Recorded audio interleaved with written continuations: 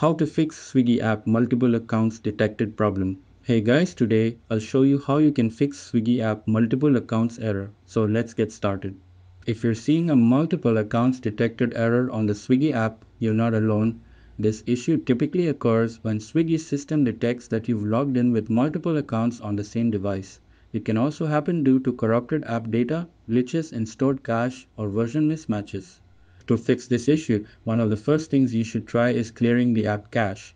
To do that, open your phone settings, scroll down and look for apps or app management, then tap on manage apps. In the search bar at the top, type Swiggy and once you find it, tap to open the app settings. Here, tap on storage and you'll see options to clear the cache or clear all data. Try clearing just the cache first. If the problem still persists, you can clear all data, but keep in mind that this will log you out of your account.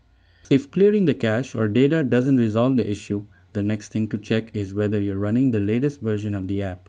Open the Google Play Store, type Swiggy in the search bar and see if there's an update button. If there is, go ahead and update the app. Sometimes the error is caused by outdated builds or compatibility bugs that are patched in newer versions. And if even that doesn't work, your final option is to uninstall and reinstall the app completely. To do that, long press the Swiggy app icon on your home screen until a few options appear.